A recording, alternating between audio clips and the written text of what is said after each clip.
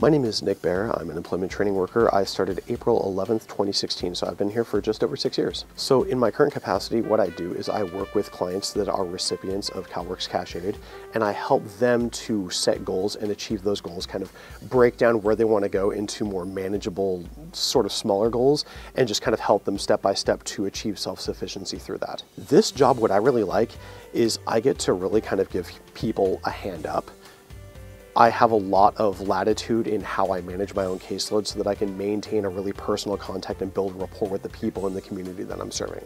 I'm a third degree black belt in Chongdakwon style Taekwondo. I've been studying at Sun Yu's Academy up in Arcata for about nine years. I am a very big nerd. Um, I play a lot of Dungeons and Dragons. I have been running ongoing games. Uh, one of them has just gone over for one year. One of them has been going for four years and is a continuation of another game that went for three years before that. I also actually stream them on Twitch.